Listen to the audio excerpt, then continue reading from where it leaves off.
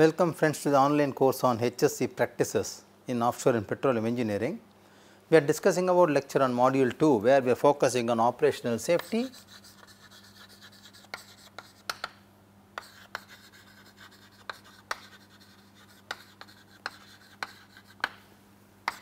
Today in lecture 8, we are going to continue with the problem where we are going to explain the concepts of financing risk. We will talk about the example problem after we understand the Frank Morgan method of risk analysis quantitative. If we look at the last lecture, we slightly rewind and see what we have discussed in the last lecture. We said that risk assessment should have the economic problems associated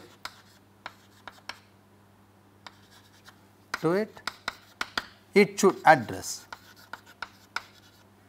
the whole risk problem in economic perspective. So, Frank and Morgan gave a model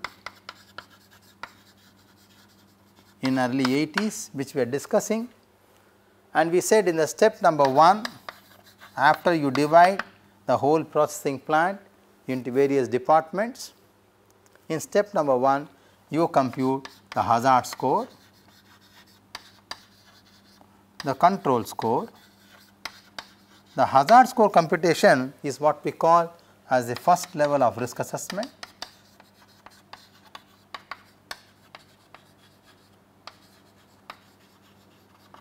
Then you compute risk index. which will be the control score minus the hazard score. The risk index can be positive, can be negative, of course, ideally it can be 0 as well. So, let us continue with the next step on the same problem or on the same issue, then we will take up an example and try to understand this. So, in step number 2,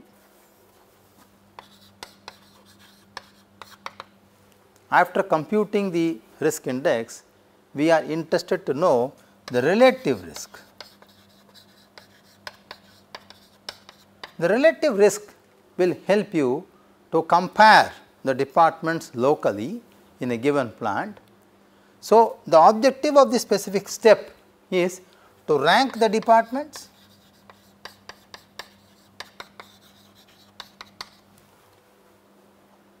and not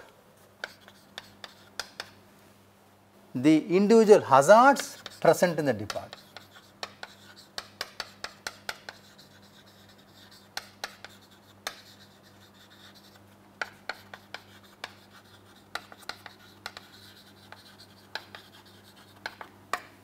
This already we have done in step number 1 itself what we call as first level of risk assessment, we already done that. We want to improve on this. Therefore, we are not interested anymore in ranking the department based on the hazards present in the department, we already know them, but we really wanted to relatively rank the department based on the risk because now we are looking along, along with the hazard, looking along with the hazard the control measurements what each department has in place. So, that if at all the hazard scenario gets realized to become a risk or to mature to become a risk, then what are those control measures each department has individually or the whole plant has as a coordination to control, mitigate or avert the happening of the risk itself from that of an hazard. So, what we said is a control measure.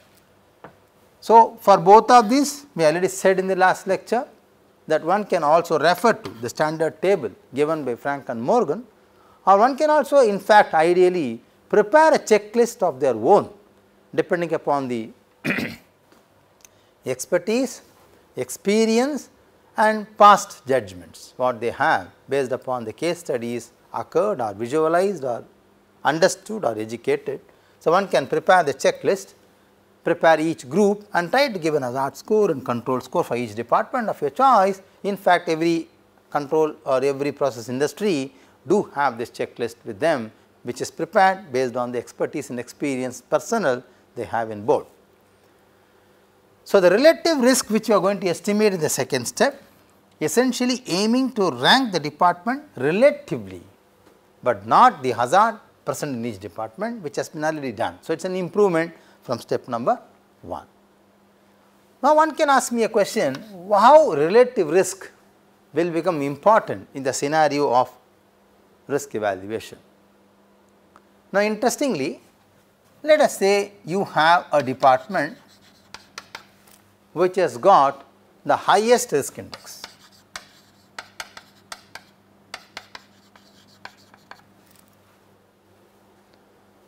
To be very specific, highest positive value. Okay. What does it mean? Highest positive value means the control measures in the department are extremely good in comparison to the other departments that is what it means. So, as a financer, as an investor, as an employer, as a capitalist, as a owner, as a company CEO, I do not have to.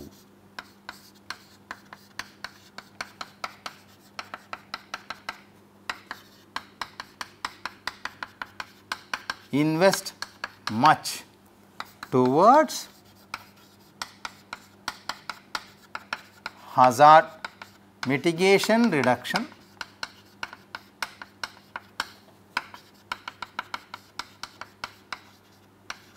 to this department? Okay. On this department?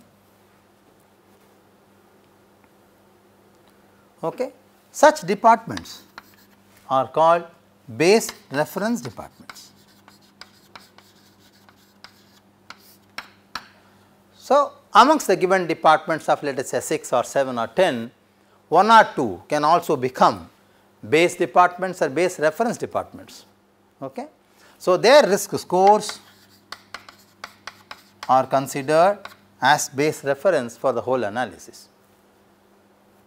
Now, one can ask me what is the use of identifying the base reference risk scores amongst all the departments. Interestingly, since I am going for a relative risking or relative risk ranking, now I would like to normalize the risk score of all departments with respect to the base department. So, I need to normalize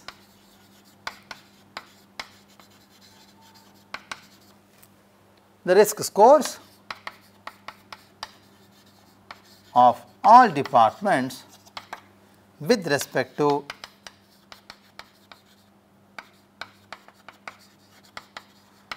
let us say the best department or with respect to the base reference risk score which I have with me now. So, that is what we are going to do subsequently. So, that is what we are going to do now in this step and therefore, this is done. How do you do the normalization? It is very simple mathematically subtract the risk score of the best department from the risk score of the concerned department.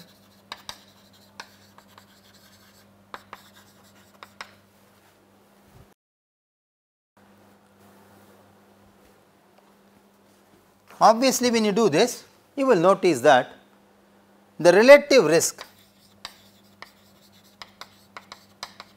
of the best department will be 0.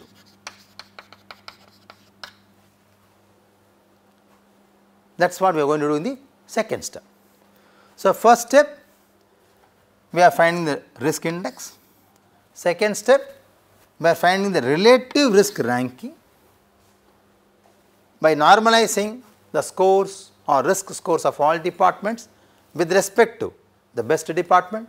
The best department is that department whose control scores are much higher than that of the hazard scores or on the other hand whose risk index is highest positive number mathematically. In the next step,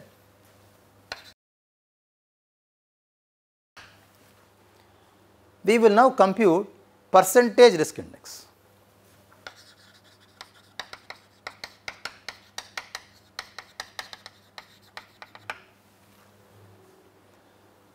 This indicates relative contribution of each department to the total risk of the plant. So, the percentage risk index is an indication of contribution of risk of each department to the overall risk of the plant. So, ladies and gentlemen, this is a very important step in risk management. For example, in the given departments of A to E, if you know that let us say the department D is contributing maximum that is the percentage risk index of the department is about let us say 25 which is lower than any other department. Maybe the reference department in this case is B whose is 0 that is a reference department one of the best departments let us say. So, now it is very clear that the management has to look into or pay attention more to the risk managing issues or hazard management techniques adopted by department D because department D is the major contributor for the risk of the whole plant. So, for example, the management can think of replacing, recruiting new professionals in terms of HSE perspective, invest more or plan to invest more on the control measures what the department is supposed to have, improve more on the maintenance part of machinery in the department which is leading to a very high hazard score. So, there are many issues which can be looked at this level segmentally in each partition of every department which is a very good step towards risk management.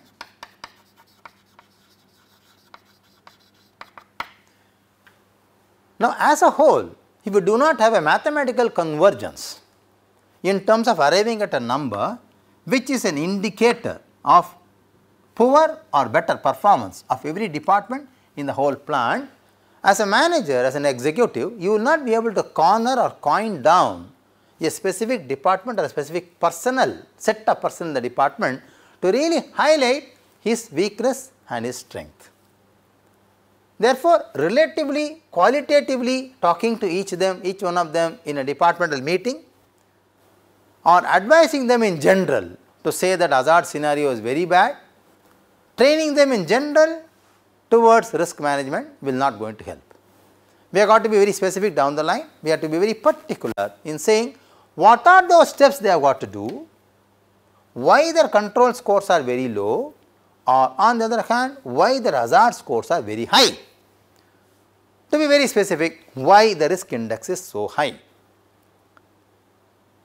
Secondly, if you are talking about incentive which I said in the earlier lectures, to promote risk you have got to create a feeling that risk need to be adapted, need to be practiced, need to be become a culture. So, for maintaining this practice to promoting this culture generally management can also start think of rewarding people who are maintaining very good risk control mechanisms. So, this particular step will help you to know how amongst the departments you need to create a difference in rewarding or creating incentive for the best department towards risk control or punitively punishing the worst department towards risk control in terms of lack of incentives because this will create competition amongst the personnel in each department to compete for the best which will ultimately result in a best way of risk management by itself. Because as I said in the beginning risk management is always a success only when the people who are at risk feel themselves that risk management is their part of the duty. It is not the employer, it is the employee who has got to take it into heart and practice risk measurements and risk management techniques at every step and every walk of his production line during the processing plant.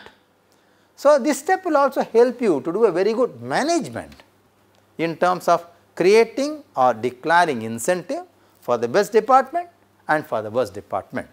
So, that is how generally if you look at the oil company sector, the payrolls, the incentives, the payrolls will have about 3 to 4 bifurcations, the basic salary, the extra work hours what you put plus the incentives towards your achievements. So, this can be one of the segment in the payroll itself that if HSE practices are found to be good, dominantly better other than the departments, then you will be given the following incentives. So, this can be also a part of the HSE policy of the company. Therefore, the company in the beginning stage inculcates a feeling in every employee during recruitment if he practices risk management or if he, if he follows risk procedures very clearly and avoid hazardous situations in a sector of working, he will be rewarded. So, that is going to be a very interesting way of looking at the risk assessment, which is actually opened out by a mathematical technique given by Frank and Morgan. So, in step number 3, we look at computation, computing the percentage risk index. So, in this step, we convert the risk of each department or the relative risk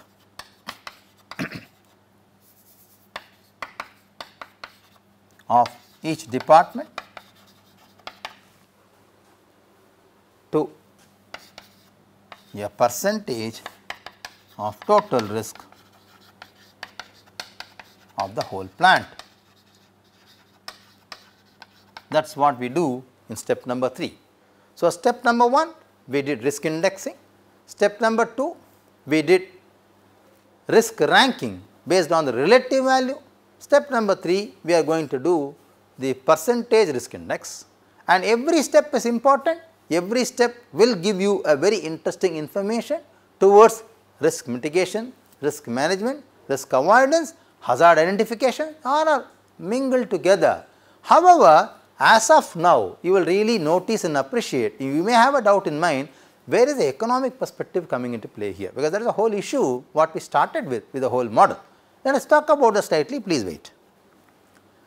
So, now the total risk of all departments will lead to the total sum of the entire risk of the department. So, the percentage risk index can be mathematically said as can be mathematically said as relative risk by sum of relative risk sum up from i is equal 1 to n into 100 where the count i will be the number of departments. So, therefore, I get this in percentage that is what I get in step number 3. Let us see what do we get in step number 4.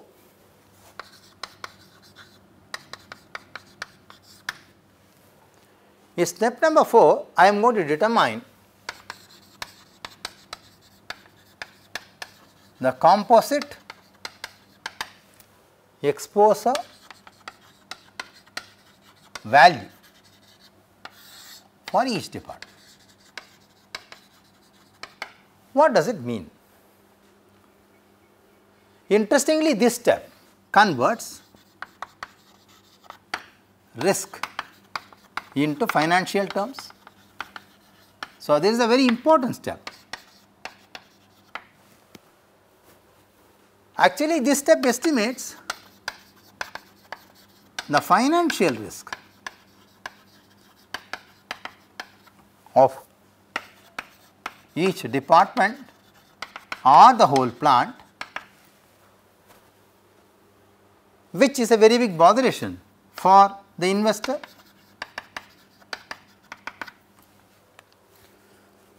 So, now let us see what do you mean by composite exposure value. The composite exposure value may be given in any currency maybe in US dollars, maybe in Indian rupee, I mean any currency we can say this Indian rupee any currency, but it is actually a commercial representation okay? Please understand.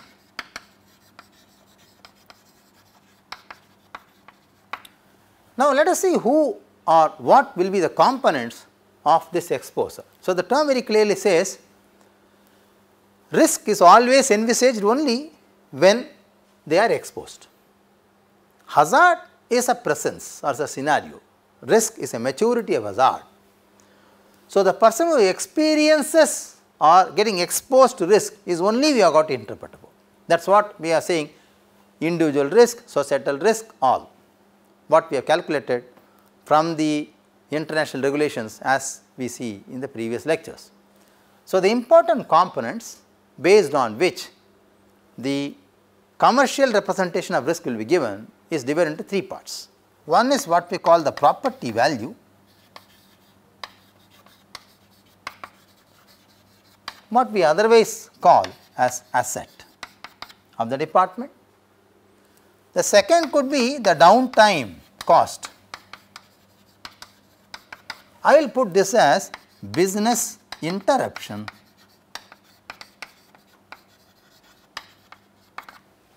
I will explain this. Third could be the personal exposure.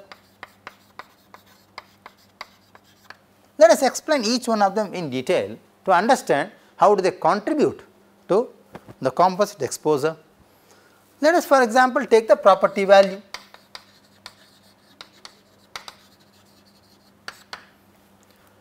What do you mean by property value or asset of each department? So, each department has an inventory machinery, equipments, each has a salvage value and the present market price which accounts for the depreciation of the equipments. Of course, every department maintains this record as a part of S&P that is nothing but stores and purchase. So, every department will clearly have the commercial value of the equipments plants present in the department. Therefore, it is very easy for us to really convert or identify or value the asset of every department. So, there is no big business in uh, big deal in getting this. And obviously, you will know that this may not be common and same for all the departments. Some departments may have this very low, some departments may have this very very high depending upon the investment what the department made towards the machinery and equipment, stores and plants. The second is rather tricky that is the downtime cost or what we call business interruption. Now, let us say in case there has been an accident or a near miss event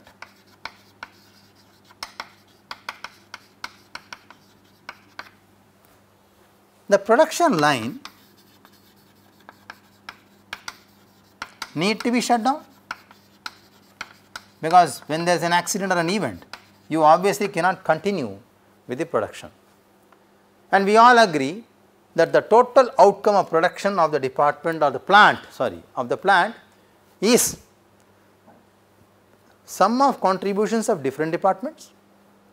Every department should work together in alignment so that the production is maintained. So, the production line will have contributions from different departments. For example, if any one department which is having a very high hazard index or a very poor control measure is likely to face an accident. If it faces an accident, so that will not be contributing to the production line of the department or the plant. So, that is what we say the downtime cost. So, this depends upon how much important is this department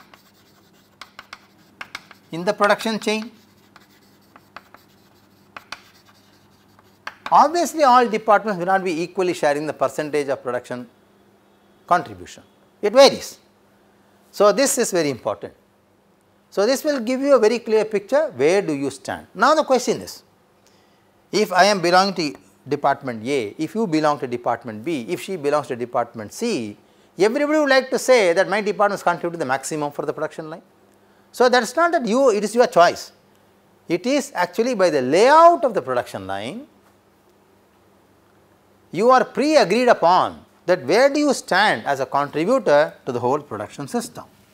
For example, drilling and delivery are two departments let us say. Drilling will have more importance because that is where the drilling happens, whereas production is where they are discharging out to the market, though it is also important, but if you do not drill there is no production and there is no delivery.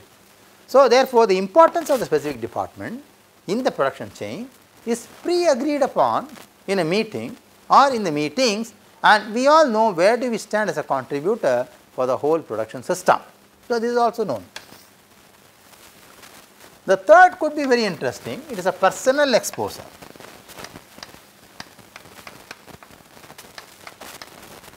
I can give an example. Let us say your department has only two employees. Let us say employee A may be drawing a salary of 10,000 US dollars. Let us say works for 8 hours. Employee B draws a salary of 6,000 US dollars. I am saying monthly, say 8 hours.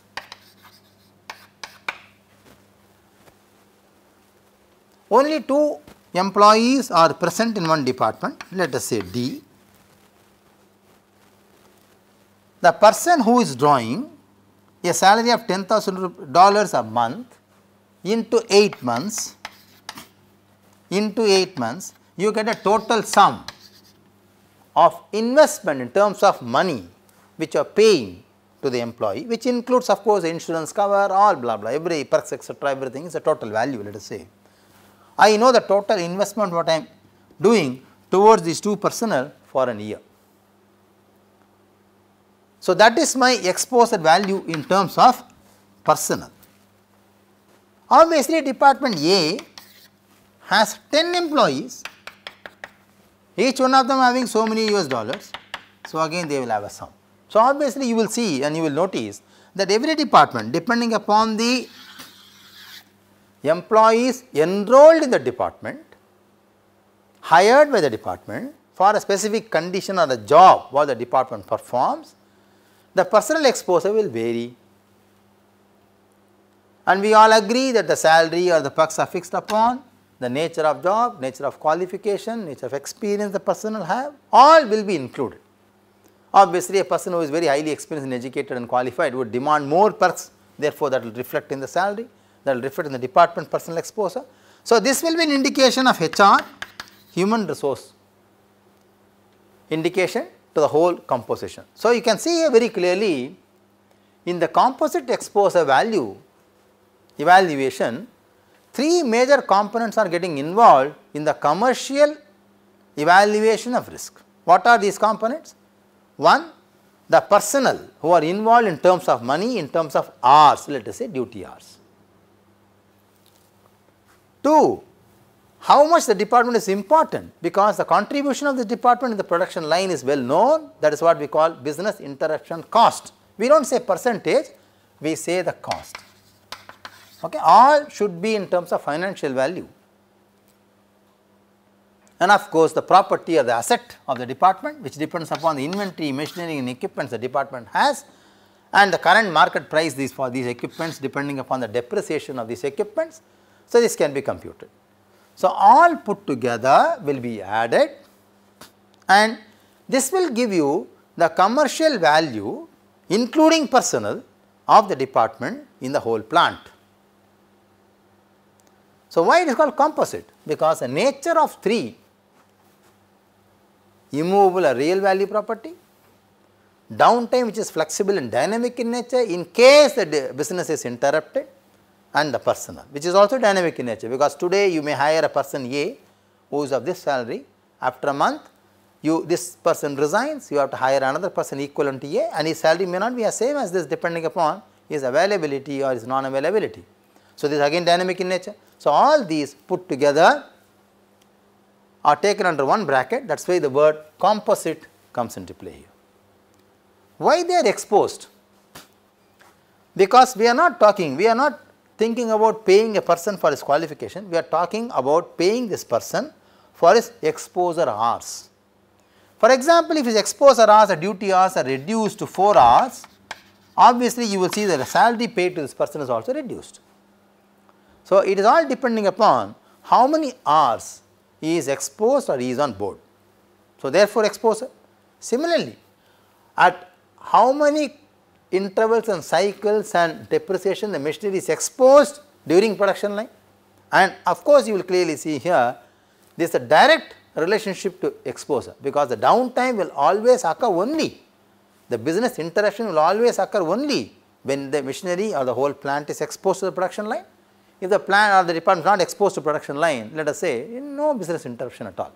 So, all these are related to how much to what degree they are exposed to risk. That is it is called composite exposure. Why value?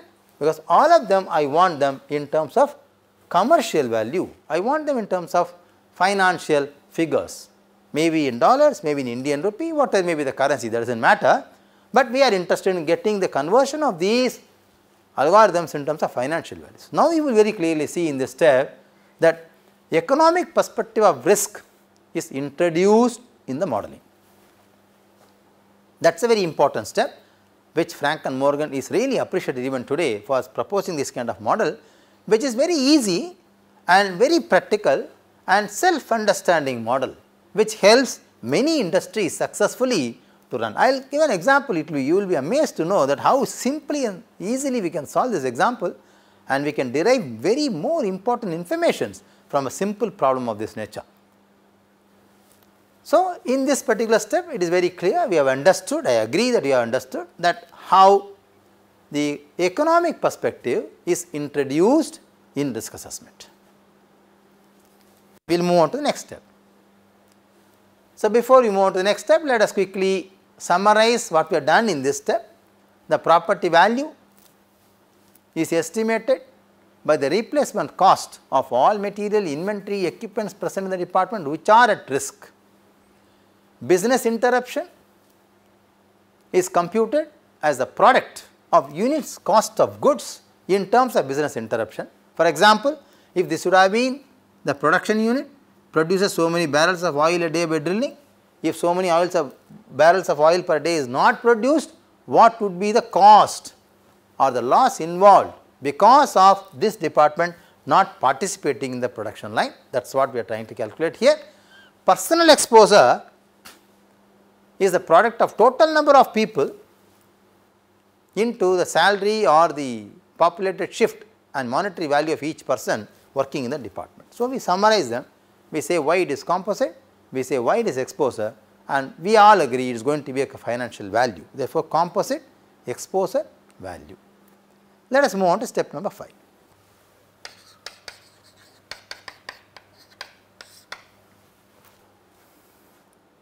So, now for each department I have the composite exposure value.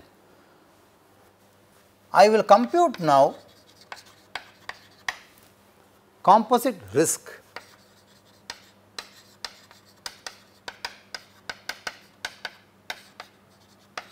for each department.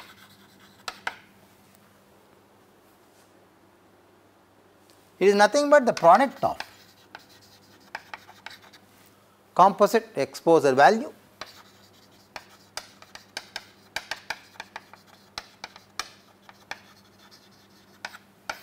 and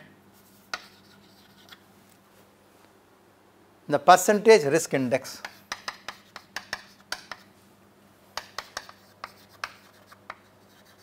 Of each department. Percentage risk index already we have calculated in the previous step.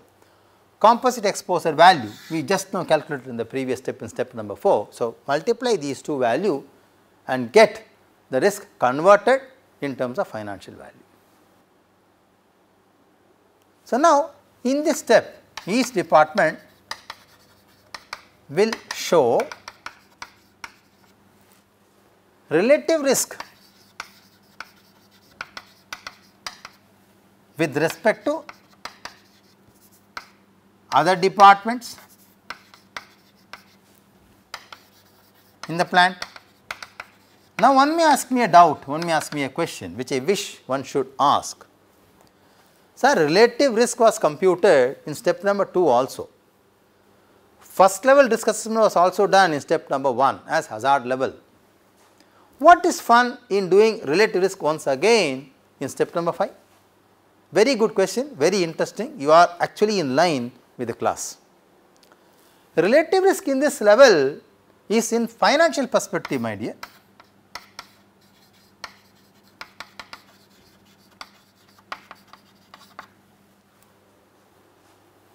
It is an economic perspective here because I have already converted risk into financial value. Now, I really know which department is going to cost me the maximum loss in terms of money. See loss can happen in many ways. It can be human loss, it can be equipments and plants and machineries etc. Ultimately as an investor, as a CEO, as a risk manager, as a risk executive, as an HSE operator executive etc. My object is to look only into what is the commercial loss I will get, I will land up if an accident is caused. Okay. Who is going to be the black cat amongst the whole departments which is going to be vulnerable to create this accident? So, I am interested in getting the commercial aspect perspective of the whole risk index. As a manager, as an investor, as an insurance authority, as a CEO, as an HSE executive, leader of HSE team, I have to ultimately present the financial terms to my stakeholders. Stakeholders will not understand and agree whether my risk is so many percentage etc. What is what they will ask me in the board meeting is that sir what would be the financial loss if the accident would occur. Can you identify which department is actually causing this trouble? It is not the question of punishing the department or punishing one, it is a question of investing more towards the control scores of the department. So, it means the CEO, the HSE executive, the HSE team will be given an indication, sir this department is weak amongst all the departments, the control scores are very poor, we should invest more budget to the department towards improving their control mechanisms. So, in the, in the right spirit this is what it is, but however, when you look at the incentive you have to be very careful, you have to be impartial. You have to say department D maybe is not performing, department A is performing, therefore, A should be rewarded and D should not be rewarded. That is how the competition can be. You cannot normalize a rewarding concept in terms of looking at the personal capacity of the department, no. So, one way it is bad because it will expose the department who is contributing to the maximum risk of the plant. One way it is very good, it is explicitly showing me which department is contributing to the maximum risk. So, I can be careful to invest more on the control scores of improvement of the department, so the risk level of the whole plant can be reduced. That is the whole objective here. Okay. Very interestingly, very nicely, very smoothly, risk which is a mathematical term, which is a statistical approach is converted to financial terms by Frank and Morgan in the early 80s. This has been a very successful model for every process industry as recommended by them which we will also use in one of the examples here in this class. So, in step number 5 I am converting or I am estimating relative risk, but this relative risk is different from the earlier steps because this is in terms of economic perspective Therefore, composite risk which I will compute in this step is equal to the composite exposure value. Can I write CEV? Because I can say CEV is composite exposure value multiplied by percentage risk index. Okay, I get this. Step number 5. So, there are 6 steps in Frank and Morgan. The last step is risk ranking.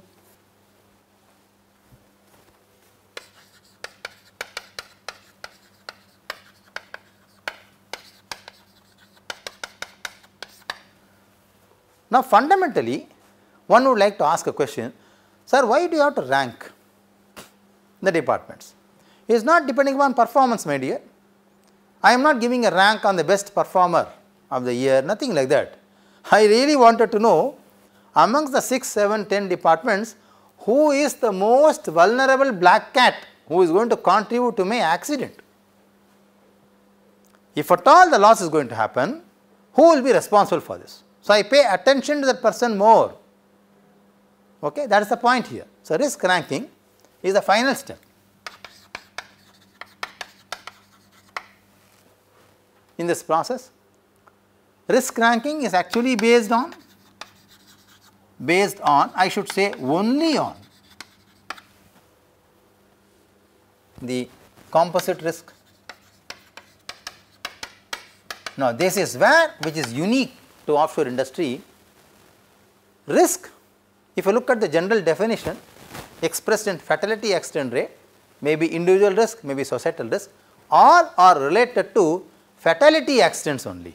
It means the number of person exposed working hours for a specific incident or an event and out of which how many people actually died. So, it is all about personal whereas here the risk ranking in offshore industry is not only personal because personal is also included as you see in this specific step we said personal exposure is a part of composite exposure value. So, personal value is also included, but it also includes asset maintenance, downtime cost, importance and feeling of the department towards risk management. You can say how feeling is included here because depending upon every level of business interruption, you can always reward the departments.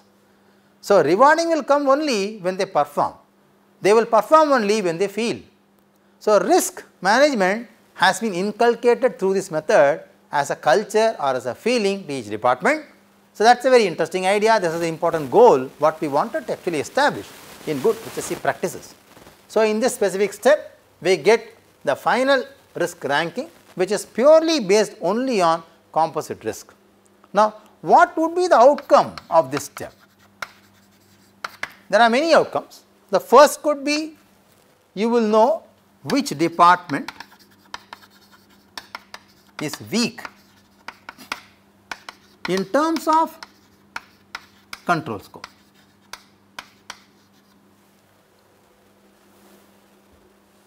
You will also know which department had the maximum hazard, I am talking about hazard and is the same department has the maximum risk? It is a very interesting question, I will explain this with an example. Third could be, is the most important department. How do you get the most important department? Depending upon the downtime cost involvement on the production line. Is the most important department is contributor or is contributing to maximum risk. Now, if this question is yes, you have got to revisit the whole plant design once again, you have got to immediately pay attention to the HSE practices and improve certainly the risk level in this department because this is one of the most important department in the production line and that department is contributing to the maximum risk, you have to be very very careful because it can cause catastrophic accidents which can result in a very heavy financial loss to the company. However, interestingly if this is not true then one can say the risk acceptance level. This is where the acceptance actually coming into play in oil and gas industries. Though the department is contributing risk, but can this risk is acceptable in the whole production line because the contribution of this particular department on the production line is a minimum. So, even there is a risk in this department, the production line will not be affected. It means your business interruption will not cost you a financial loss. You understand how risk is connected to financial terms. So, it is a very interesting diagnosis, part and parcel of the problem which has been done by Frank and Morgan model, which is very, very good to realize and understand and feel how every level of risk assessment has been simply done in steps in easy methodology to handle. Okay. So, this the next outcome what we have. The last could be what should be the budget allocation to each department. Now, one can ask me a question Sir, how this budget allocation can improve the risk management terms? Now, let us say department A, department E, department D. B was a referral department which is control score, I mean the risk index is 0, reference department, best department. So, obviously, should we have to give any budget to the best department? So, that should be decided. should we not give or should we give more value the maximum value to the worst department because the department E is showing the maximum risk index therefore, the control scores are very bad should we invest more on E to make it better.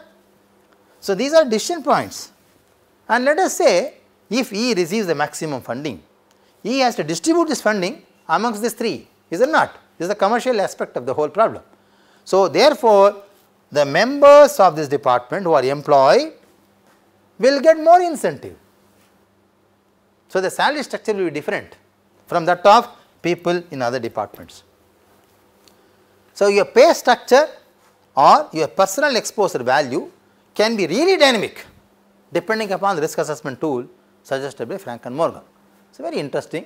So, you can arrive at such decisions in the board meetings only depending upon one simple example problem which you can really do wonders with the risk assessment tools what has been suggested so far. So, now it is better that we have got to really understand a problem, take an example, solve it and then try to work out as a manager, as a HSE executive these outcomes from the example problem which we will see in the next lecture. Thank you very much.